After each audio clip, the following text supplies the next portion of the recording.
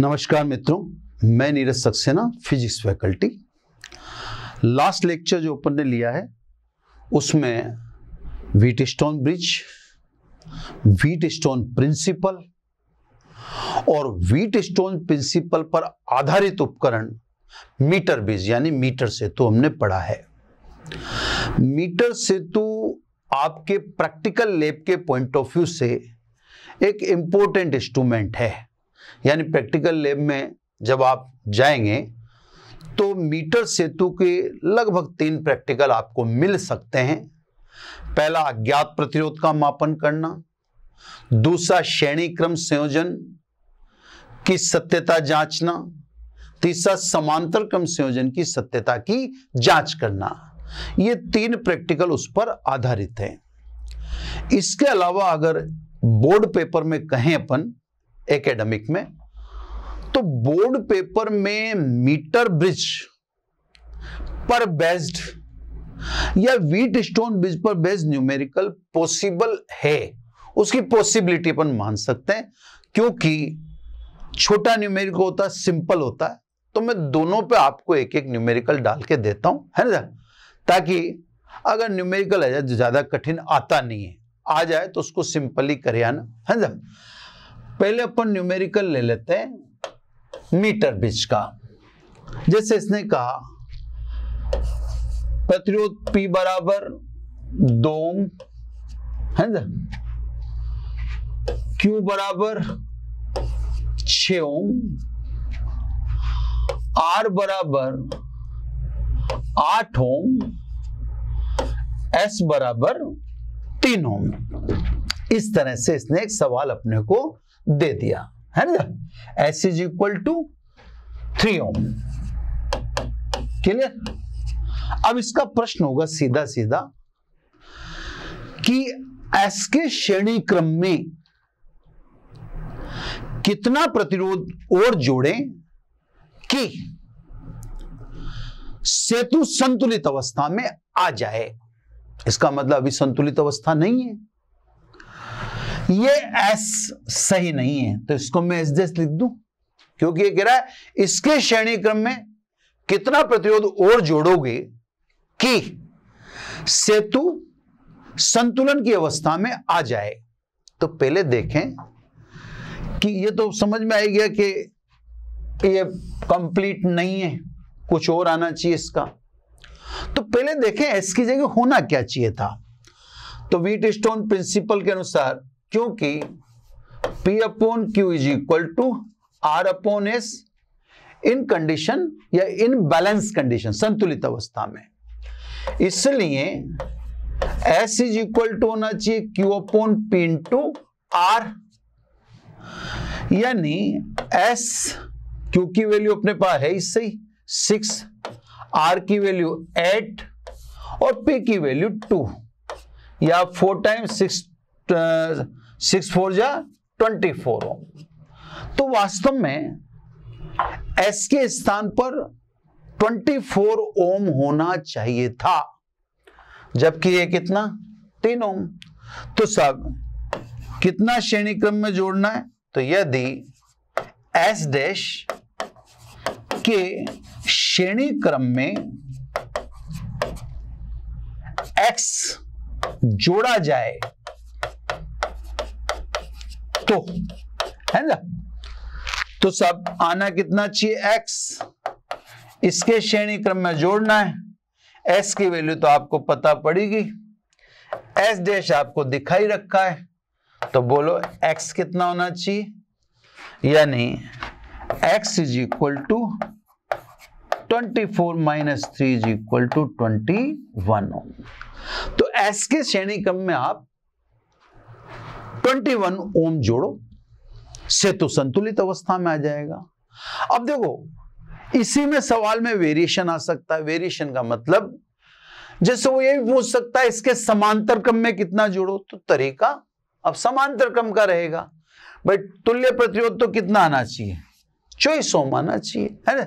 तो मेरे कहने का मतलब है कि मीटर सॉरी वीट स्टोन सेतु में इस टाइप के धारा की दिशा के, संतुलन अवस्था के, गेल्वेनोमीटर के स्थान बदलने के, ऐसे न्यूमेरिकल आते हैं, जो कुछ न्यूमेरिकल की बातें तो थ्योरेटिकल मैंने बोल ही दी है एक न्यूमेरिकल में मीटर सेतु का ले लेता हूँ, है ना ये सब मीटर सेतु का भी छोटा से आता है, लगभग इसी टाइप का मान लीजिए आप। ये ऐसे साहब एक तार दे देंगे, वही अपन एसी लिखते हैं तो आप एसी लिख दो। ये यहाँ पर रजिस्टेंस दिखा देंगे। अब इसमें से कोई एक अननोन कर दिया जाएगा, है ना? ये यहाँ पे सर्किट जोड़ने के लिए ये सेल बैटरी लगा दी सेल बैटरी पर वैल्यू लिख भी सकते हैं, है ना साहब? और नहीं भी, ज़रूरी भी नहीं। अब ये कह दिया साहब ये ओम ये बीच में बता दिया गैल्वेनोमीटर या तो चित्र में ही दिखा देंगे संतुलित अवस्था में है, और ये जोकी रख देंगे यहाँ पर। यहाँ पर लिख दिया, जैसे 80 सेंटीमीटर, ये वाली लंबाई, है ना? और ये वाली लंबाई लिख दी 20 सेंटीमीटर, ये आप सोते समझ ही लोगे। और ये पूछ लिया साहब, आर का मान बताओ। तो ऐसे इस टाइप में। अब कुछ भी पॉसिबल है, वो तो आप कैसे भी देख लो। है ना? फॉर्मूला भी है अपने पास। संतुलन लंबाई दे रखी उससे भी निकाल लेंगे अपन। बट ये नेचर है साहब, इस टाइप में कोई न्यूमेरिकल पूछ सकते हैं। एग्जैक्टली यही पूछे। पर ये पूछेंगे इस तरीके से कि साहब, सेतु संतुलित अवस्था में आप आर की वैल्यू बता दो। है ना? है यहाँ लंबाइयाँ पूछ सकते हैं। लंबाइयों का अनुपात यानी पी अपोन क्यू पूछे। भाई, इसको तो अपन पी बोलते हैं ना। इसको अपन क्यू बोलते हैं, है ना? तो कहने का मतलब आप चाहो तो जैसे फॉर्मूले से निकाल लो, जैसे अपन ने इसमें फॉर्मूला बनाया था एस है ना? Is equal to hundred minus L upon L into R है ना? इसलिए R is equal to S into L upon hundred minus L, इससे आ जाएगा। क्योंकि अब आपसे ये आर पूछ रहा है। एस की जगह तो फुलफिल कर दी इसने। एस की जगह तो अस्सी लिख दिया। है ना? तो आप चाहो तो इससे निकाल लो ये अस्सी। सेंटीमीटर में रहने दो लंबाइयों को। एल बीस। है ना? और सो माइनस एल। तो सो माइनस एल यानी क्यू? ये आएगी आपके कितना आ रहा है? अस्सी आ रहा है। नहीं तो सो माइनस बीस कर लो। तो आर की जगह कितना आ जाएगा सब? बीस ओम। तो आपको फॉर्मूला याद है तो फॉर्मूले से कर लो। अगर फॉर्मूला याद नहीं भी है तो डायरेक्ट भी कर सकते हो। ये तो फॉर्मूले से कर दिया मैंने। आप डायरेक्ट कर दो, ऐसे कर दो। P अपॉन क्यू बराबर आर अपॉन एस इसलिए R is equal to P into S upon Q अब लंबाइयाँ सेंटीमीटर में तो आप ऐसे कह सकते हो पी की जगह कितना है? ट्वेंटी। एस की जगह कितना है? एट्टी। और क्यू की जगह कितना है? एट्टी। ये सेंटीमीटर सेंटीमीटर कट जाएँगे, इससे भी आंसर कितना आएगा? ट्वेंटी। इस टाइप में आपसे क्वेश्चन राइज किए जा सकते हैं। तो इसलिए मैंने इसको सैंपल में छोटा ही रखा कि सब इसमें ज़्यादा हाँ क्वेश्चन आने की श्योरिटी मान सकते हैं आपके इसमें से क्वेश्चन बैठ सकता है। अब सब नेक्स्ट लें। ये तो सब मीटर सेतु या वीट स्टोन सेतु पर आधारित उपकरण हो चुके। अब अपने को नया उपकरण पढ़ना है, बहुत शानदार, गजब का। इसमें प्रयोगशाला के इस नए उपकरण में थोड़ा सा पेशेंस रखना। इसके तीन चार टॉपिक तक आपको पेशेंस रखना पड़ेगा। उसका रीजन मैंने आपको पहले ही बता दिया कि इंस्ट्रूमेंट अपने सामने होता नहीं। हम थ्योरी से एक प्रैक्टिकल को आपको लाइव इमेज करवा इमेजिन करवाते हैं कि हाँ ऐसा कर लो, ऐसा हो रहा है, वैसा सोचो। तो देखो एक्यूरेसी नहीं आ पाती। क्योंकि मुझे जो इंस्ट्रूमेंट अच्छी तरह से याद है, हो सकता आपने उसको देखा ही नहीं हो। तो आपके दिमाग में स्वाभाविक रूप से वो भूमिका नहीं बन पाती। इससे मैंने आपसे दो तरह से बात की। या तो मैंने कहा आपसे कि भाई, आप मोशन लर्निंग ऐप डाउनलोड कर लो, उसमें सब ये चीज़ डाल दी डाल दी जाएँगी। या फिर आप चाहो तो गूगल इमेज पे देख लो, भाई वीट स्टोन या मीटर सेतु कैसा होता है, विभव मापी कैसा होता है, और फला फला है ना? तो कहने का मतलब आपका ऑप्शंस हैं। क्लियर लेकिन अब इंस्ट्रूमेंट जब आ रहा है तो आप ये एक्सपेक्ट करें कि पहले ही टॉपिक से समझ में आ ले जाए तो नहीं। पहले तो इस, उस इंस्ट्रूमेंट की इंपॉर्टेंस क्या है? वो इंस्ट्रूमेंट कैसा है? वो मेज़रमेंट कैसे करेगा? ऐसे कई सारे पहलू होते हैं जो एकदम क्लियर नहीं होते। तो आप मेरे को इसमें, इस लेक्चर के अलावा अगला लेक्चर देना। अगला लेक्चर एंड होते होते या अगले लेक्चर का हाफ़ पर आपको बात समझ में आने लग जाएगी। एकदम नहीं आती यह आप श्योर समझे। बस आप कंसंट्रेट रहे। मैं, हालाँकि आप कोई, मान लीजिए कोई बच्चा कह दे कि साहब वहाँ पर ये सुविधाएँ भी नहीं है तो कोई टेंशन वाली बात नहीं है। मैं कोशिश यही करूँगा कि आपके सामने वो चीज़ लाइव जैसी लाके पटकी जाए। ठीक है सर? तो अब हम पढ़ने वाले हैं बहुत गजब का इंस्ट्रूमेंट यानी हम पढ़ने वाले हैं विभव मापी। है ना? इंग्लिश में इसे बोलते हैं पोटेंशियो मीटर। क्लियर? है ना? अब इस उपकरण के परिचय की प्रारंभिक लाइन में विवाद पैदा हो जाएगा। जैसे मैं बोलूँ, विभव मापी विभवांतर, विद्युत वाहक बल, विभव आदि को शुद्धता से मापने का एक उपकरण है। अब यही विवाद चालू हो गया। यानी ये टॉपिक चलने से पहले ही रुक गया। कैसे रुक गया? कि मैंने कहा, भाई, विभवांतर, विभव, विद्युत वाहक बल आदि को शुद्धता से मापने का एक उपकरण है। तो आप डेफिनेटली ऐसा सोचेंगे कि यार फिर वोल्ट मीटर क्या है? भाई वोल्ट मीटर भी तो यही काम करता है। तो फिर आपके दिमाग में ये बात आनी भी चाहिए कि वोल्ट मीटर क्या चीज़ है।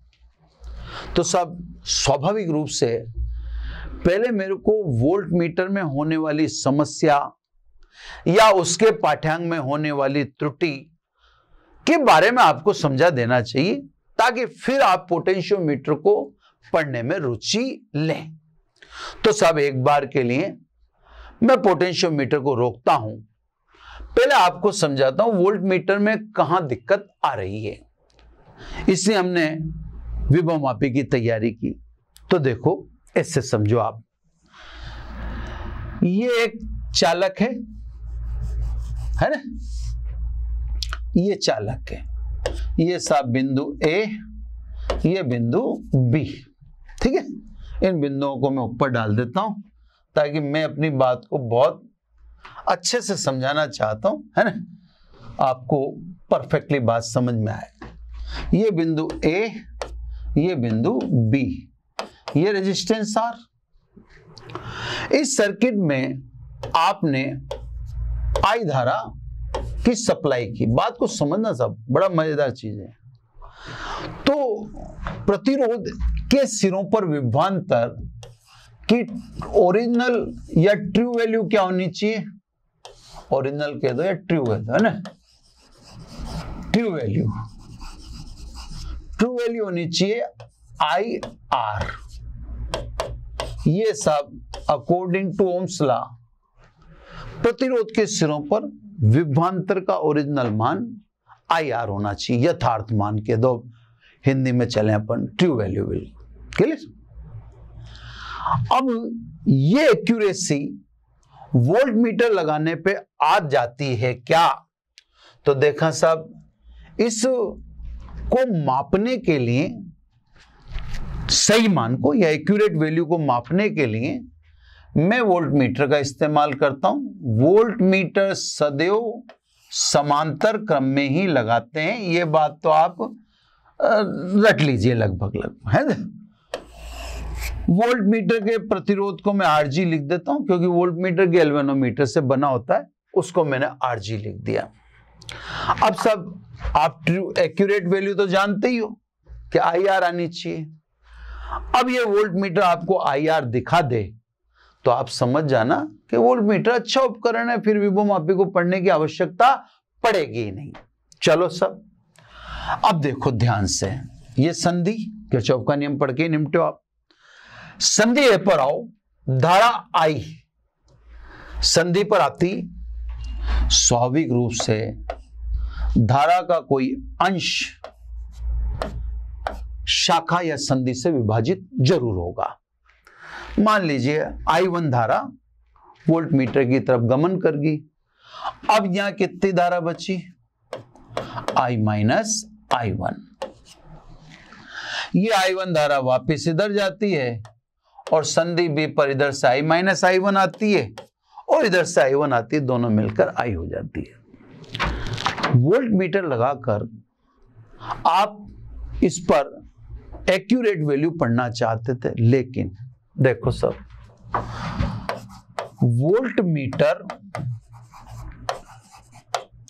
का पाठ्यांक, अब ये दिखाता हूँ मैं आपको, वोल्ट मीटर का पाठ्यांक क्या है?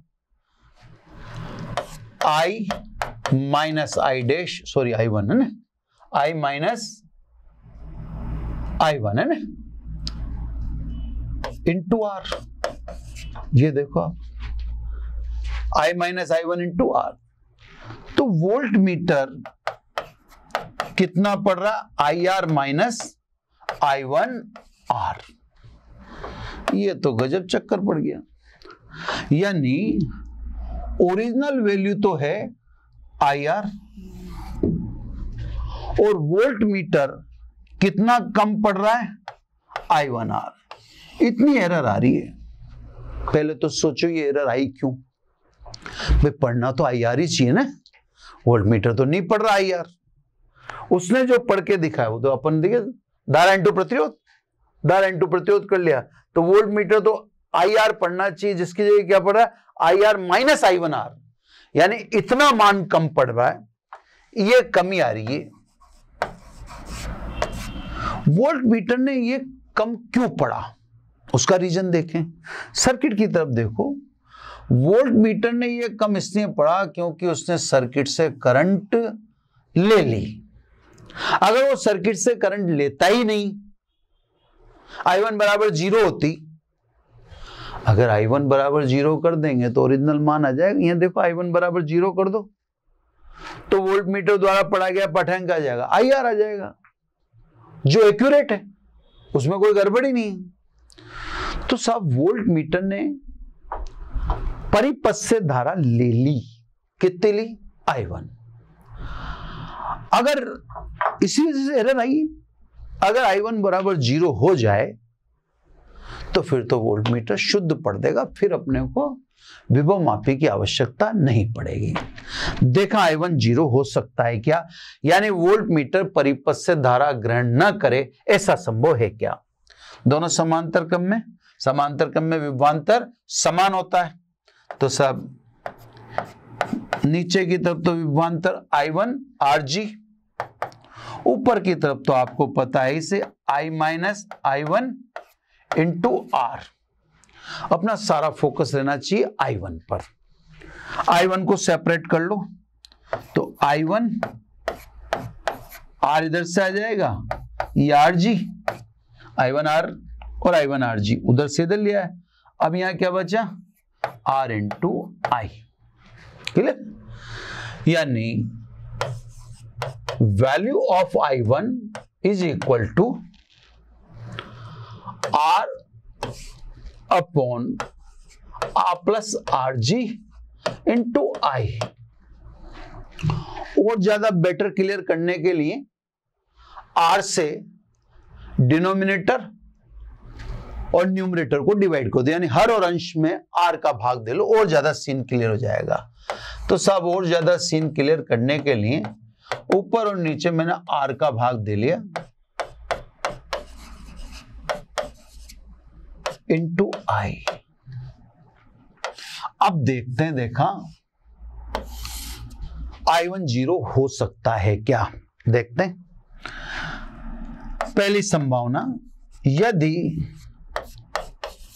R G much much much greater than R R G किसका प्रतिरोध? वोल्ट मीटर का। अगर वोल्ट मीटर का प्रतिरोध उच्च हो, अत्यधिक उच्च हो बटे वाली राशि बढ़ जाएगी, है ना? तो I one much much much less than I I one कम हो जाएगा सब। क्या करो आप? वोल्ट मीटर का प्रतिरोध बढ़ा दो, उच्च कर दो। जब आप वोल्ट मीटर का प्रतिरोध आरजी बढ़ा देंगे तो अकॉर्डिंग टू डेरिवेशन आरजी बढ़ाने से आई वन का मान अल्प हो जाता है। तो साहब, उच्च प्रतिरोध से वोल्ट मीटर बनाया जाए तो मान शुद्धता की ओर बढ़ेगा, क्योंकि आई वन अल्प होगा। तो जैसे जैसे आई वन अल्प होगा, वैसे वैसे वोल्ट मीटर द्वारा पढ़ा गया पाठांक शुद्ध होता चला जाएगा। है ना? हंड्रेड परसेंट एक्यूरेसी के लिए तो आई वन बराबर ज़ीरो होना चाहिए। देखा ज़ीरो हो सकता है क्या? अब देखो। यदि R G is equal to Anant infinite R G की जगह तो आई वन बराबर ज़ीरो। आई वन ज़ीरो हो सकता है सब। कह रहा है लेकिन आई वन ज़ीरो होने के लिए वोल्ट मीटर का प्रतिरोध कितना होना चाहिए? वोल्ट मीटर का प्रतिरोध अनंत होना चाहिए। और अपन इस असलियत को जानते हैं कि अनंत कोई वैल्यू नहीं है। अनंत का तो कोई अंत ही नहीं है। तो साहब, ये तो ऊपर वाली बात तो सही है कि साहब, वोल्ट मीटर के प्रतिरोध को अत्यधिक उच्च करें। तो प्रतिरोध को अत्यधिक उच्च करने से आई का मान अल्प हो जाएगा। और आई का मान अल्प होगा तो वोल्ट मीटर द्वारा पढ़ा गया पाठ्यांक शुद्धता की ओर बढ़ेगा। प्योरिटी आएगी एक्यूरेसी आएगी। लेकिन अगर आपको 100 परसेंट एक्यूरेसी चाहिए, यानी आई वन ज़ीरो चाहिए, यानी वोल्ट मीटर कोई करंट ले ही नहीं, ये चाहिए, क्योंकि उसके करंट लेने से ही लफड़ा पैदा हुआ है। हम जानते हैं। तो सब, ये कोई वैल्यू करंट की ले ही नहीं। उसके लिए तो फिर वोल्ट मीटर का प्रतिरोध अनंत होना चाहिए। अनंत कोई माप नहीं है। कोई मेज़रमेंट नहीं है।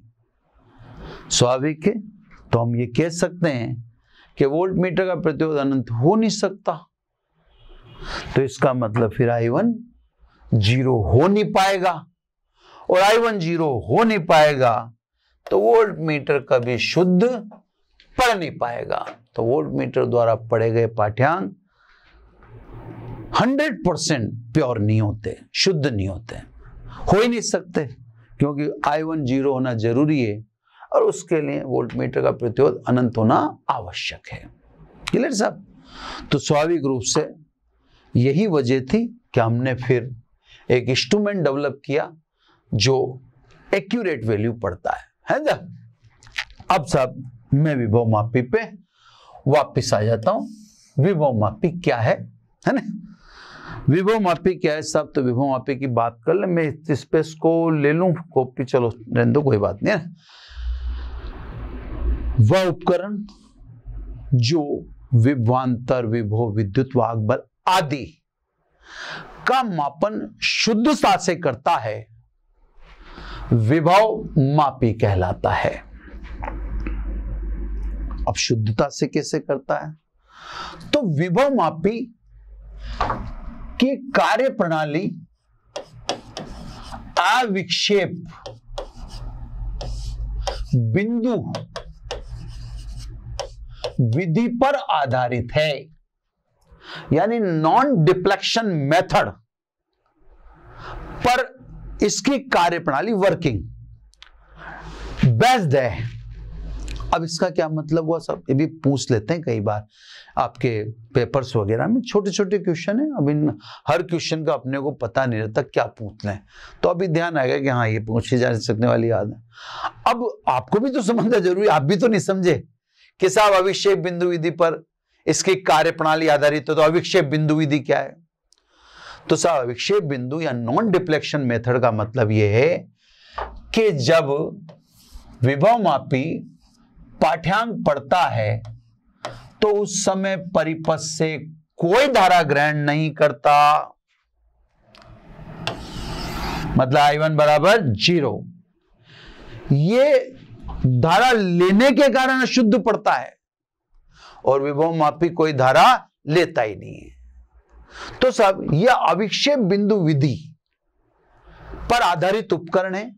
अर्थात, मापन के समय at the time of measurement विभव मापी परिपथ से कोई धारा ग्रहण नहीं करता है। इससे 100 परसेंट शुद्ध पड़ता है।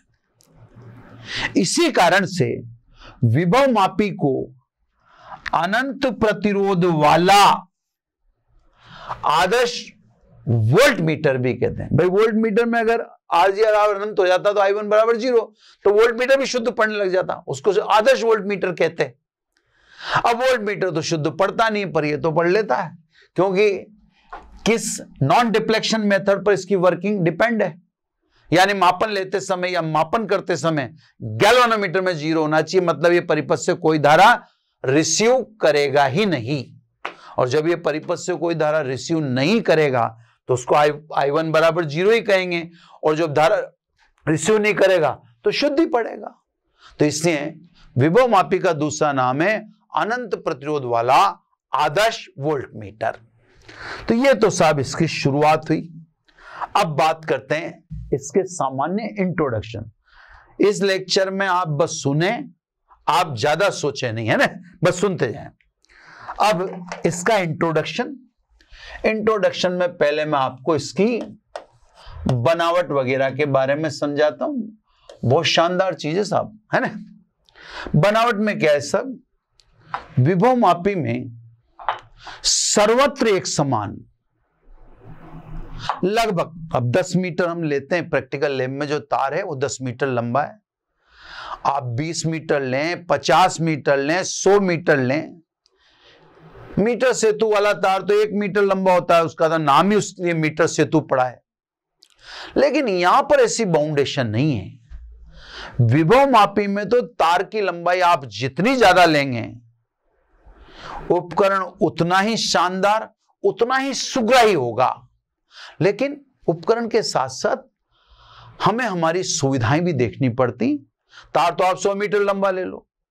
फिर क्या ऊँचा कुछ चक्के मापोगे क्या? है ना? तो इंस्ट्रूमेंट की अपनी एक प्रिंसिपल होता है।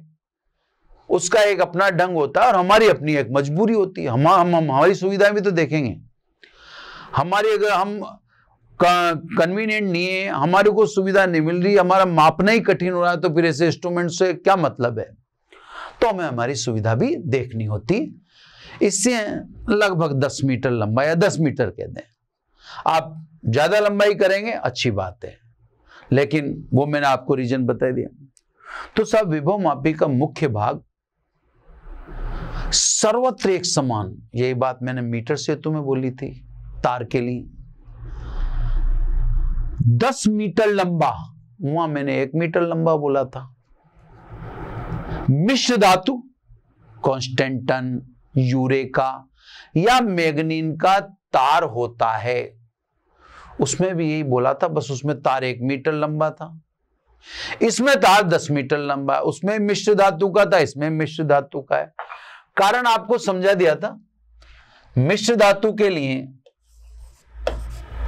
ताप प्रतिरोध गुणांक अल्फ़ा नगण्य होता है, अर्थात मिश्र धातुओं के ताप में परिवर्तन से उनके प्रतिरोध में होने वाले परिवर्तन नगण्य होते होते तो हैं, लेकिन नगण्य होते हैं, बहुत ज़्यादा नहीं होते ऐसा समझो, है ना? तो सब, मिश्र धातु का तार इसे यहाँ एक बात मैं थोड़ा सा रोक के आपको समझाता हूँ। इसमें हर बारीकी बोलूँगा मैं। उसका रीजन है कि थ्योरी में ठीक है वेटेज थोड़ा कम है इनका, लेकिन आप प्रैक्टिकल लैब में जाएँगे तो ये जो मैं आपको पढ़ा रहा हूँ, ये छोटे छोटे क्वेश्चन वहाँ पे पूछे जाएँगे। और स्वाभाविक है छोटे छोटे क्वेश्चंस के हम जवाब न दे पाए तो शर्मिंदगी के साथ साथ हमारे अंकों पर भी इसका प्रभाव पड़ता है। तो साहब, हमें दोनों से बचना चाहते हैं कि ना हमें अंक कटें, ना हमें शर्मिंदगी उठानी पड़े छोटे छोटे सा इससे मैं हर डेप्थ बोलूँगा, मेरे ऑल पॉसिबल ऑल पॉसिबल जैसे मैंने कहा, लंबाई जितनी ज़्यादा हो बेटर है। अब कारण भी बताऊँगा मैं, है ना? पर आप अभी से मानस बनाते रहिए कि यार ये ज़्यादा लंबाई क्यों कह रहा है? क्योंकि आपके पास भी तो मेरे से पूछने के लिए प्रश्न होने चाहिए, है ना? वरना फिर मोशन लर्निंग ऐप डाउनलोड करके आप करेंगे क्या? तो वहाँ भी आपके प्रश्न होने चाहिए हमारे पास। इसलिए आपको बस सुनना है, हो सकता है मैं कहीं चूक कर जाऊँ। तो और या मैं अभी कह दूँ कि लंबाई होनी चाहिए, अब फिर मैं इसका जवाब ही नहीं दूँ। तो आप पूछ तो सकते हो कि साहब आपने कहा था तार की लंबाई अधिक होनी चाहिए तो उसका जवाब ही नहीं दिया, है ना? तो कहने का मतलब ये डिस्कशन रहना चाहिए। तो सब सर्वत एक समान, दस मीटर लंबा, मिश्र धातु वही रटेटा है कांस्टेंटन यूरेक और मैग्नीन का तार होता है, कारण बता ही दिया। इन तीनों के लिए या मिश्र धातुओं के लिए ताप प्रतिरोध गुणांक नगण्य होता था, ताप में परिवर्तन से इनके प्रतिरोध में होने वाले परिवर्तन न के बराबर होते हैं, ठीक है? नगण्य होते हैं। अब देखो ये बिंदु ए है और दूसरा एक और बिंदु ले लेंगे। ये 10 मीटर लंबे तार को लकड़ी के तख्ते पर एक एक मीटर की 10 पंक्तियों में, है ना?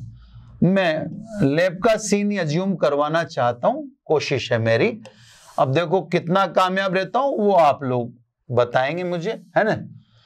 चार चार आठ, नौ और ये दस, है ना? ये तार कहीं से तोड़ा नहीं है, जाने ये देखो, यहाँ पर एक घिरनी पे से गुजरता हुआ आ रहा है। यहाँ पर भी घिरनी है, यहाँ पर भी घिरनी है। ये एक एक मीटर की दस लाइन है। यहाँ पर भी घिरनी है और यहाँ पर भी घिरनी है। तो घिरनी पे लिपट तो आ रहा है। यहाँ पर भी घिरनी है। पुली, है ना? गिरनी नहीं समझते हो आप तो पुली समझ लो, जैसी भी भाषा से समझो। फिजिक्स समझनी है, भाषा भाषा को मारो गोली, है ना? भाषा तो होती रही। तो ये ए और बी यानी प्रथम सिरे को मैं ए बोल देता हूँ, अंतिम सिरे को मैं बी बोल देता हूँ। तो एक लकड़ी के तख्ते पर ऐसे ये तार बिना तोड़े, तोड़ नहीं रखा, गिरनी पे से गुजर रहा आप लेब में जाओगे तो सारंगी जैसा एक उपकरण दिखेगा, दस तार है ना? तो सवा मीटर लंबा तो इसका लकड़ी का तख्ता ही होता है, क्योंकि एक मीटर लंबा तो तार ही है। है ना? जैसे मीटर सेतु में होता था, ऐसे इसमें भी स्केल होता है। एक मीटर लंबा स्केल होगा, है ना? नीचे इसमें स्केल दोनों तरफ़ होते हैं, ऊपर भी होते हैं और नीचे की तरफ़ भी होता है, क्योंकि तार लंबा चौड़ा है ना तो इसमें आपको स्केल नीचे मिलेगा अपन एक जगह, है ना तो? अब आपको ये तो लकड़ी के तख्ते पर व्यवस्था मिल जाएगी। अब आपको क्या करना है? वो ध्यान से समझे साहब, है ना? अब सर्किट बनाएँगे अपन। आप क्या करें? प्रथम और अंतिम सिरे के बीच, श्रेणी क्रम में, अब क्या क्या जोड़ेंगे देखो आप। आप जोड़ेंगे सीसा संचायक सेल सेकेंडरी सेल प्राइमरी नहीं। है ना? इस जो सर्किट बता रहा हूँ, इसमें आपको सेकेंडरी सेल एक आप जोड़ देंगे की। ये की जोड़ दिया आपने। और आप जोड़ेंगे रियो स्टेट मतलब धारा नियंत्रक। है ना? स्पेस मेरे को लगता है सब दिख रहा होगा आपको। है ना? ये धारा नियंत्रक। ये धारा नियंत्रक, है ना? ये ए और बी के बीच श्रेणी क्रम में जोड़ दें, जैसे मैंने जोड़ा है। है ना? स्ट्रेट करने की कोशिश कर रहा हूँ। ये आप जोड़ दें, प्रथम और अंतिम सिरे। अब आपको ए और बी वहाँ लिखा हो नहीं मिलेगा। तो आप ऐसे समझ लेना। ए उसको समझ लेना जिससे आपने क्या जोड़ दिया? पॉजिटिव जोड़ दिया। वो ए रहेगा। सीधी सी बात है। क्लियर ये रियोस्टेट यानी धारा नियंत्रक, धारा को कम ज़्यादा करने वाला। मैंने आपसे कह रखा है कि धारा कम ज़्यादा करो, ये आपकी इच्छा है, ज़रूरी नहीं है ना। पर ये धारा नियंत्रक लगा रखा है। ये जो मैंने परिपथ बनाया, इसे विभव मापी का मुख्य व या प्राथमिक परिपथ कहते हैं। ये साहब इसका मेन सर्किट है। अगर कोई विशेष आवश्यकताएँ नहीं हो तो प्राथमिक परिपथ में छेड़छाड़ नहीं करनी चाहिए। मैं नहीं कह रहा कि साहब नए स्ट्रिक्ट फॉरवर्ड नहीं करनी चाहिए। करते हैं। लेकिन आप ट्वेल्थ के बच्चे हैं आपको आपके सामने ऐसा कोई प्रैक्टिकल ही नहीं है जिसमें आपको करना रहे। वो तो ताप विद्युत वाहक बल होता अगर आपके सिलेबस में। तो मैं कहता कि प्राथमिक परिपथ में आपको परिवर्तन करना पड़ेगा। तो आप तो जो आपके सिलेबस में उसके अकॉर्डिंग तो आप समझ लें कि इस परिपथ में आपको किसी प्रकार का कोई छेड़छाड़ नहीं करनी। ऐसा ही, बस इस तरह से जोड़ देना श्रेणी क्रम में एयर भी एक किससे कहेंगे? सीसा संचयक सेल सेकेंडरी सेल है सीसा संचयक सेल के धनाक से जुड़े हुए बिंदु को आप ए कहेंगे। आप चाहें तो प्राथमिक परिपथ में लगे होने के कारण इस सेल को ईपी कह सकते हैं। अब ईपी का मतलब प्राथमिक परिपथ में लगे होने के कारण बोला है। ठीक है साहब? अब आप कहेंगे कि हमें जो अननोन चीज़ जिसका मापन करना है, वो कहा जोड़ें? अब मैं आपको बताता हूँ। उस अननोन को आप जोड़ने के लिए ऐसे फिर वायर जोड़िए, है ना? अब आपको जैसे अननोन में ईएमएफ या कोई भी विभ्रांत जैसे भी आपको कैलकुलेट करना हो, उससे आप एक्स वाई से जोड़ दें। यह ध्यान रखें, जैसे मान लो आप किसी सेल का विद्युत वाहक बल ज्ञात करना चाहते हैं तो पॉजिटिव जोड़ें एक्स से और नेगेटिव जोड़ें वाई से। अब आप कहेंगे, ऐसे कैसे याद रहेगा? अरे भाई ए क्या है? पॉजिटिव ऐसे पॉजिटिव जोड़ो, बस। वो उच्च वो बिंदु कहलाता है। ए को बोलते हैं उच्च बिंदु, क्योंकि वो प्राइमरी सर्किट में पॉजिटिव से जुड़ा हुआ है तो उसको कहते हैं उच्च बिंदु। है ना? तो उच्च बिंदु ऐसे सभी टर्मिनल पॉजिटिव ही जुड़ेंगे, चाहे वोल्ट मीटर का टर्मिनल हो, चाहे एमीटर का टर्मिनल हो, चाहे सेल का टर्मिनल हो, किसी का भी। तो जैसे अननोन किसी को भी आप मेजर करने के लिए आते हैं तो ऐसे पॉजिटिव ही जोड़ें। अब एक सेल लगा दें तो एक ही जगह यहाँ पे सेल लगा देना। सेल का पॉजिटिव किससे जोड़ देना? एक्स से, है ना? और दूसरा सिरा वाई से। फिर वाई से संयोजक तार। संयोजक तार का मतलब कॉपर वायर ये बस, ये जो वायर होते हैं, ये व्हाइट व्हाइट जो दिखा रखे हैं मैंने, यही होते हैं मिश्र धातु के। बाकी और जो ये आपको येलो वगैरह दिख रहे हैं, ये सब कॉपर होते हैं। बाकी सब संयोजक तार बोलते हैं ये कॉपर के होते हैं। गैल्वेनोमीटर जोड़ दें और गैल्वेनोमीटर के दूसरे सिरे से आप लंबा चौड़ा वायर जोड़ें, क्योंकि अब की बार आपको जोकी को 10 मीटर लंबे तार पर चलाना है, जबकि मीटर सेतु में तो एक मीटर लंबे तार पर ही चलाना होता था, है ना? तो यहाँ पर आप अच्छा खासा लंबा चौड़ा तार लें, ताकि उससे आप ए से बी यानी 10 मीटर लंबे तार पर सर का सकें। इसे कहते हैं द्वितीयक, यानी सेकेंडरी सर्किट द्वितीयक परिपथ। आपको जो भी चेंज करने होंगे, वह सेकेंडरी में करने होंगे। प्राइमरी में आपको कोई चेंज नहीं करना। तो ये सब बेसिकली इंस्ट्रूमेंट है, जिसका व्हाइट व्हाइट वाला पोर्शन जो मैंने बना रखा है, यही आपको लेब में दिखेगा। फिर बाकी ये येलो डार्क येलो जो है, ये आपको कनेक्ट करना पड़ेगा। ये आपका काम है कनेक्शन करना। फिर आप प्रैक्टिकल करेंगे। अब हमें तो क्या है? थ्योरी में विभव मापी पढ़ना है। तो साहब, हम इतना बार बार बड़ा बड़ा सर्किट बना के कैसे पढ़ पाएँगे? तो हम देखो सिंबॉलिक इसका प्रदर्शन करेंगे। हम 10 मीटर लंबे तार को ऐसे भी से दिखा देंगे। हम बार बार एक हमें तो थ्योरी पढ़नी है। हम, भाई, हम जब तक तो थ्योरी नहीं पढ़ेंगे प्रैक्टिकल कैसे करेंगे? अब बार बार क्या इससे इसको लेके बैठेंगे? तो हम इस तरह से पढ़ेंगे ना? अब हमें वैसा का वैसा कोई चेंज नहीं होगा। चेंज बिल्कुल भी नहीं होगा। प्राइमरी सर्किट में वही संचयक सेल ये संचयक सेल यानी सेकेंडरी सेल इसके विद्युत वाहक बल को मैंने ईपी लिख दिया। ये प्लस माइनस लिखना ज़रूरी नहीं है। की यानी कुंजी, और धारा नियंत्रक को श्रेणी क्रम में जोड़ देंगे। ये धारा नियंत्रक को हमने श्रेणी क्रम में जोड़ दिया। ये देखो ये देखो आप। डार्क येलो वाले को देखो। इसको ही कहते हैं, अपन क्या कहते हैं? प्राइमरी सर्किट यह आपका प्राइमरी सर्किट हो गया। ठीक है? ये आइसोलेट कर दिया। सेकेंडरी सर्किट में ए पॉजिटिव से जुड़ेगा, इसे एक्स कह रहे हैं, फिर नेगेटिव इसे वाई कह रहे हैं। या गैल्वेनोमीटर और ये जो की तो अपने को बार बार जो, अपने तो क्योंकि टॉपिक पढ़े जाएँगे। तो अपने को तो ये प्रेजेंटेशन लेनी है।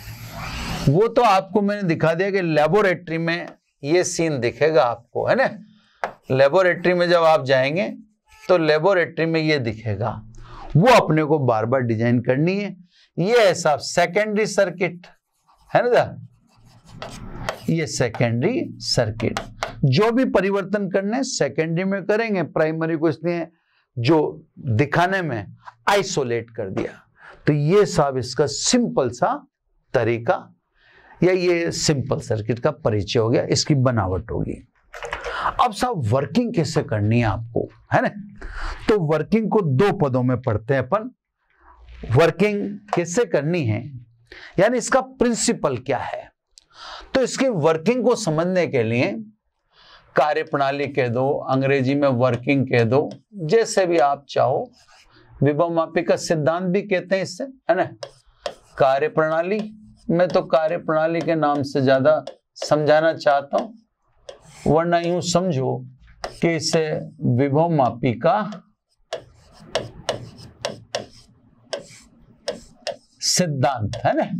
मैंने आपसे कह दिया थोड़ा सा ये कंटिन्यू रहेगा। मतलब जैसे अभी एपिसोड पढ़ रहे हैं अपन तो ठीक है, बहुत ज़्यादा कोशिश करते हैं कि यही खत्म करें पर हर चीज़ अपने बस में नहीं है ना? तो ये थोड़ा थोड़ा जैसे मान लो अभी मैं कहीं मेरे को घंटा भर होने के बाद तो रोकना ही पड़ता है ना एपिसोड तो कहने का मेरा मतलब है कि अगर मेरे को रोकना भी पड़े तो फिर मैं जो नेक्स्ट लेक्चर चालू करूँगा वहीं से चालू करूँगा। आप उस, उसके बहुत टेंशन नहीं टेंशन न ना? अब सब विभव मापी के सिद्धांत में आप सबसे पहले समझो विभव प्रवणता। है ना? बस यहाँ से सारी बात समझ में आ जाएगी। विभव प्रवणता, यानी पोटेंशियल ग्रेडियंट है ना इसको एक्स से डिनोट कर देता हूँ मैं। वो भी डिनोशन कोई कैसे करता है, कोई किससे, उससे आप टेंशन में मत लीजिए आप तो पहले इस बात को समझें, फिर अपन आगे देखते हैं, है ना? यही इसकी जान है, या यूँ कह दें, इसी से सारा व्यवस्था बैठेगी। विभव मापी के तार, जो अपन सामान्यतः दस मीटर कह रहे हैं, जो ज़्यादा लंबा हो तो ये अच्छी बात है। विभव मापी के तार की इकाई लंबाई पर विभव के पतन को विभव प्रवणता कहते हैं। इसको थोड़ा सा मनन करके समझो। इकाई लंबाई पर विभव के पतन को, यानी तार के पर सेंटीमीटर वोल्टेज को, पर सेंटीमीटर। एक सेंटीमीटर में कितना वोल्टेज है? उससे ही विभव प्रवणता के तो देखो क्या है, हर चीज़ में डप में घुसना पड़ेगा। और विशेष तौर से इंस्ट्रूमेंट में तो आपको घुसना ही पड़ेगा। तो विभव मापी के तार की इकाई लंबाई में विभव के पतन को, और मैंने सीधे से समझा ही दिया कि एक सेंटीमीटर में वोल्टेज को। विभव प्रवणता कहते हैं। विभव प्रवणता, विभव मापी के द्वारा मापित न्यूनतम विभवांतर है। उससे कम विभवांतर का मापन विभव मापी नहीं कर सकता। तो विभव प्रवणता, विभव मापी द्वारा मापे जा सकने वाला न्यूनतम विभवांतर है। और अंतिम बात, विभव मापी से पढ़े गए पाठ्यांक विभव प्रवणता की शुद्धता पर निर्भर करते हैं। इसलिए प्योर होना चाहिए। चलो सब, अब में दस मीटर या अंक नहीं लिखा जाएगा ना? तो देखो सब, अपन ने तार की लंबाई मैं लिख रहा हूँ ना? ये मान ली एल है ना? अब तार के सिरों पर विभवांतर, ये मान लिया अपन ने, कैपिटल भी तो एल लंबाई पे विभवांतर कितना? कैपिटल भी तो इकाई लंबाई पे विभव का अंतर कितना?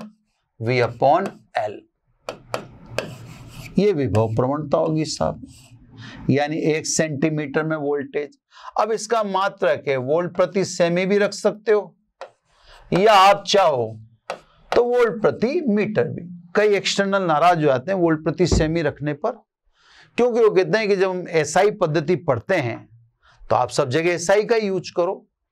वैसे मैं व्यक्तिगत आपको अनुभव बताऊँ, उससे सेंटीमीटर में लेने से कोई फ़र्क नहीं पड़ता। क्योंकि हम सारी लेंथ ही सेंटीमीटर में लेंगे। अगर आपने विभव प्रवणता का मापन करते समय लंबाई को सेंटीमीटर लिखा है तो बाकी लंबाइयों को भी आप सेंटीमीटर में ही लिखना। सीधी सी बात है। और अगर आप विभव प्रवणता को मीटर में नाप रहे हो तो फिर बाकी लंबाइयों को भी आपको मीटर में ही मापना पड़ेगा, है ना सर? अब इसको अपन थोड़ा सा खींचते हैं। खींचने का मतलब अब एक चीज़ को खोल के तो देखना पड़ेगा ना क्या क्या है इसके अंदर। तो सब यदि तार में, अब मैं छोटे छोटे में लिखता हूँ। तार में धारा, कैपिटल आई, वह तार का प्रतिरोध। अब ये तार वही है। इसलिए मैं लिख रहा हूँ ताकि आपको याद रहे। कैपिटल आर है। तो तार में धारा अपन ने मान ली। कैपिटल आई और तार का प्रतिरोध मान लिया कैपिटल आर तो V is equal to I R तो एक से क्या लिख देंगे साहब? एक से विवो प्रवणता x बराबर आई आर अपॉन एल ये लो सब ऐसे लिख देंगे। ये शेप बनते जा रहे हैं अब आपके सामने ना? ये भिन्न भिन्न रूप बनते जाएँगे। क्योंकि न्यूमेरिकल है ना सब तो इसमें विवो प्रवणता पे न्यूमेरिकल फोकस हो सकता है। अब सब आई निकाल दें, है ना? तो एक एक फ़ेज़ चलता जा रहा है, मैं फ़ेज़ के रूप में लेता हूँ इसको। अब धारा कैसे निकालें साहब? तो प्राथमिक परिपथ में लगे सीसा संचायक सेल, मैंने आपको दिखाई रखा था, है ना? सीसा संचायक सेल। अब इसका विद्युत वाहक बल ईपी लिख दो या ई लिख दो, जैसे आपकी इच्छा हो। अभी तो ई लिख देते हैं ना, इसको क्या जगह लिख देते हैं? ई ठीक है? धारा नियंत्रक का प्रतिरोध मैंने मान लिया आर डैश सेल का आंतरिक प्रतिरोध कितना मान लिया? स्मॉल आर इस टोटल तार का प्रतिरोध तो अपन क्या मान रहे हैं? कैपिटल आर अब देखो कौन कौन श्रेणी क्रम में कैपिटल आर आर डैश और स्मॉल आर ये तीनों श्रेणी क्रम में तो कुल प्रतिरोध दिख गया होगा? आर प्लस आर डैश धारा नियंत्रक का आर डैश आंतरिक प्रतिरोध आर और तार का प्रतिरोध तो अपन ले ही चुके हैं। और सेल का विद्युत वाहक बल अपन ने ई मान लिया, है ना? तो देखो सब, अब वहाँ लिखने की ज़रूरत नहीं, क्योंकि यहाँ बोल दिया मैंने। तो आई बराबर कितना होगा? आई बराबर कुल वोल्टता बटा कुल प्रतिरोध, तार का प्रतिरोध धारा नियंत्रक का प्रतिरोध और आंतरिक प्रतिरोध। ये तीन प्रतिरोध हैं तो ये अपन ने मान लिए साहब, ये ये हैं, है ना? अब रखो दो में, दो से, है ना? X is equal to I की जगह क्या लिख दें? ई आर धारा नियंत्रक का प्रतिरोध, आंतरिक प्रतिरोध, और आर अपॉन एल क्लियर सब ये लिख दिया अपन ने। अब देखो, यदि धारा नियंत्रक के प्रतिरोध को नगण्य मान लें, होता भी है वास्तव में। आंतरिक प्रतिरोध को भी नगण्य मान लें। वास्तव में द्वितीय सेल का आंतरिक प्रतिरोध नगण्य होता है। पॉइंटों में होता है पॉइंट वन पॉइंट टू तो ये तो मान सकते हैं। है ना? धारा नियंत्रक का तो चलो थोड़ा ज़्यादा होता होगा। लेकिन ये तो अपन मान सकते हैं कि सेल का आंतरिक प्रतिरोध नगण्य होता है द्वितीय सेल का ना? तो अब ये कौन सा रूप आ गया था सब? तीसरा, है ना? विवो प्रवणता के रूप दिखा रहा हूँ। ये एक पहला आ गया था, ये दूसरा आ गया था, वो तीसरा। अब x बराबर ई अपॉन आर ये और ये दोनों नगण्य मान लिए। आर अपॉन एल आर से आर कट गया। तो x इज़ इक्वल टू क्या लिख सकते हैं? ई अपॉन एल भी लिख सकते हैं। मैंने इतना ये इसलिए घुमाया क्योंकि कई जगह डायरेक्ट ई अपॉन एल लिख देते हैं। डायरेक्ट नहीं लिखना चाहिए। उसकी कंडीशन है। है ना? बात तो वही आगे साहब, इकाई लंबाई पर विभव का पतन। है ना? तो एल लंबाई पर ई वोल्टेज है तो इकाई लंबाई पे ई अपोन एल है। लेकिन अपन जानते थे कि धारा नियंत्रक भी जुड़ा हुआ है, आंतरिक प्रतिरोध भी हो सकता है। तो यहाँ तो मैंने तार की लंबाई वी और उस पर मैंने विभवांतर कितना माना? कैपिटल वी माना, है ना तो कहने का मतलब अपन अपनी जगह पे सही है है ना? कि उसमें कोई अपन गलती नहीं कर रहे, कि साहब अपन ने कोई उसमें मिस्टेक की क्लियर अब सब ये तो तार की इकाई लंबाई पर विभव का पतन। क्लियर अब कैसे मापेंगे? अब बेसिक प्रिंसिपल को समझो। दो मिनट में समझा देता हूँ मैं आपको। देखो साहब, ये साहब दस मीटर लंबे तार ए बी को तो अपन ने दिखा दिया ऐसे, है ना? बिल्कुल सिंपल है साहब। ये आपके सीसा संचायक ये कुंजी और ये ये बार बार ही बनाएँगे अपन, है ना? इसलिए मैं फ्लो में बनाऊँगा इसको, है ना? थोड़ा अब आप भी समझते हो मजबूरियाँ। ये कुंजी के, ये रियो स्टेट अब साहब, ये आपने कोई सेल है जिसका विद्युत वाहक बल अज्ञात है? ई ये मापना है आपको। ठीक है साहब? सिंपल आपको कुछ नहीं करना। वही मैंने एक्स की जगह क्या कहा था? देखो, अभी मैं दिखाता हूँ, आपको ताकि पुष्टि हो जाता हूँ। मैंने आपको कहा था कि एक्स पॉजिटिव से जुड़ेगा। यानी एवरी पॉजिटिव जुड़ेगा उच्च वो बिंदु से ना तो आपको ध्यान रखना है थोड़ा सा तो सब, ये मैंने अज्ञात का पॉजिटिव ऐसे जोड़ दिया और नेगेटिव गैल्वेनोमीटर जोड़ दिया। यहाँ से भी मैं आगे जोकी। अब आपको कुछ नहीं करना। आपको ये जोकी इस 10 मीटर लंबे तार पर चलानी है, ठीक है? कब तक चलानी है? तो इसमें ज़्यादा लंबा मैं खींचने के मूड में नहीं हूँ। आप ये जोकी इस 10 मीटर लंबे तार पर चलाइए और वहाँ रुक जाइए, जहाँ पर गैल्वेनोमीटर में ज़ीरो दिख जाए। बस वहाँ रोक दो। क्लियर गैल्वेनोमीटर में ज़ीरो आते ही आपको रुक जाना है, सीधा सीधा। ये अलग से दिखा दूँ। आप रुक गए। यहाँ पर गैल्वेनोमीटर में क्या दिख रहा है आपको? ज़ीरो बस वहाँ रोक देना है आपको, है ना? गैल्वेनोमीटर की खासियत है, उसमें दोनों तरफ़ अंक लिखे होते हैं। तो जोकी को चलाओ, वही दस मीटर लंबे तार पर चलाओ ए से चलाओ बी तक। तो बीच में ही कहीं एकदम गैल्वेनोमीटर में ज़ीरो आ जाऊँगा, रुक जाओ। मैंने आपसे मीटर सेतु में भी समझाया था, वापस भी समझाऊँगा। अगर गैल्वेनोमीटर शून्य आ जाता है तो उसको कहते हैं विभव मापी की संतुलन अवस्था। उसको क्या बोलोगे? विभव मापी की संतुलन अवस्था। क्लियर जहाँ पर या जिस बिंदु पर शून्य आया है तार पर, उस बिंदु को बोलोगे अविक्षेप या संतुलन बिंदु। याद आ रहा है कुछ? नहीं आ रहा होगा। मैं आपको बताऊँ याद आना चाहिए। याद आना चाहिए देखो आपको। गैल्वर ए सॉरी विभव मापी किसके सिद्धांत पर आधारित का, किस पर आधारित है उसकी कार्य अविक्षेप बिंदु अर्थात मापन करते समय वह परिपथ से कोई धारा ग्रहण नहीं करता है। तो ये आपको पहले ही समझा दिया। ठीक है? अब सब देख लिया आपने? कि वही मापन करते समय वो धारा लेगा ही नहीं। धारा लेगा ही नहीं। उसका किस सुई का रहेगी ज़ीरो पर। इसीलिए उसे अनंत प्रतिरोध का आदर्श वोल्ट मीटर कहते हैं ना जब। दोनों बातें होगी। तो जब भी गैल्व ये तो एक बात, अब तो कुछ चीज़ें तो रटो गैल्वेनोमीटर में ज़ीरो आते ही पोजीशन क्या कहलाएगी? संतुलन अवस्था। बिंदु को क्या कहेंगे? अविक्षेप बिंदु या संतुलन बिंदु। इस समय उच्च युवा बिंदु ए व जोकी के बीच जो भी तार है, उसकी लंबाई को आप बोलेंगे संतुलन लंबाई। संतुलन लंबाई। जिसको मैंने फ़िलहाल किससे दिखा रखा है? स्मॉल एल बिल्कुल समझिए आप। अब आप बिल्कुल सीधा सा फंडा। देखो सब, ये दो मिनट का काम है। देख लो। संतुलन की अवस्था में, है ना? दो लाइन में आपको बात समझनी है बस, संतुलन की अवस्था में। अब संतुलन की अवस्था में तो गैल्वेनोमीटर किस किस के बीच में लग रहा है? तार का तो ए जे, एस जे। और इधर ये सेल, गैल्वेनोमीटर में आ रहा है विक्षेप ज़ीरो।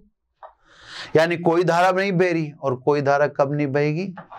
जबकि ई और तार पर ए व जे के मध्य विभवांतर क्या हो? समान हो।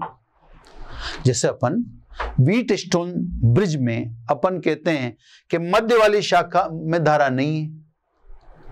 तो उसको हटा देते हैं। उस शाखा में धारा क्यों नहीं है? क्योंकि ऊपर का बिंदु बी और नीचे का बिंदु डी दोनों पर परिभव समान है। इससे मध्य वाली शाखा में धारा नहीं है। ऐसा अपन मीटर से तुम बोलते तो भाई, यहाँ भी तो एक ज़ीरो दिखा रहा है। इसका मतलब ए व जे के मध्य विभवांतर और अज्ञात सेल का विद्युत वाहक बल दोनों बराबर है है ना ठीक है साहब। अब आप ट्रिक समझो। इकाई लंबाई में विभव के पतन को क्या कहते हैं? विभव प्रवणता, जो आपको पहले ही पढ़ा दिया। शुद्ध सीधे सीधे बताऊँ तो इकाई लंबाई में वोल्टेज इकाई लंबाई में वोल्टेज को क्या कहते हैं? एक्स आप तो इसे हिंदी में समझा करो। तो एल लंबाई में कितना वोल्टेज होगा? एक्सएल ये लो सब इकाई लंबाई में विभव का पतन, यानी विभवांतर, यानी वोल्टेज। एक्स है। तो एल लंबाई, तार की एल लंबाई पे कितना होगा? एक्सएल और ये किसके बराबर होना चाहिए? वी एजे के बराबर। है ना? और वी एजे किसके बराबर है? ई के बराबर। तो देखो एक्स है